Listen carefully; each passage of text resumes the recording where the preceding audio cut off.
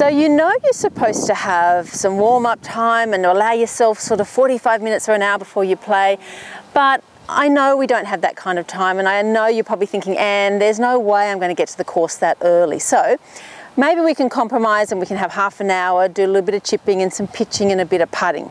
Now what happens if you're running late, the traffic's been bad and you turn up on the tee and you've got no time at all, literally a couple of minutes to race down to the tee.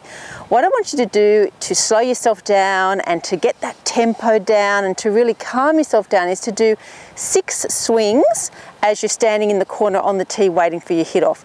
And the first two swings, you're going to put your feet together and you're just going to have a couple of practice swings. And what this does is gives you the feeling of balance and it also helps your tempo. Then you're going to set up normally and do some 50% speed swings. So some slow swings. This, what we're doing here is slowing down our tempo, calming ourselves down and bringing down our sort of feeling of being rushed. And then to finish off, you're going to do some super slow-mo swings. So two swings, really slow back, really slow through. And do that twice, so six swings all together, feet together, a 50% tempo, then a super slow-mo. And hopefully that will calm you right down and get you ready to hit off.